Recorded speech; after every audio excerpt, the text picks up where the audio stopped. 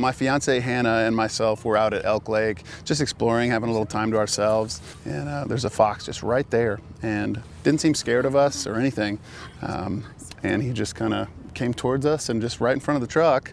And I just, we just couldn't believe it. It was just such a beautiful sighting. It was only in the past decade biologists were able to prove through DNA sampling of scat and hair samples that some of the foxes people encounter in the high Cascades are a subspecies of Sierra Nevada red fox. These foxes, that often appear black in color, have thick hair on the pads of their feet, which helps them move through snow. So they're able to move more quickly across snow, uh, evade bigger, heavier predators like coyotes and cougars that might sink down in the snow while they can skitter on top.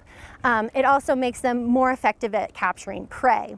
Atkins describes Sierra Nevada red foxes as charismatic little buggers that like to interface with recreation hotspots.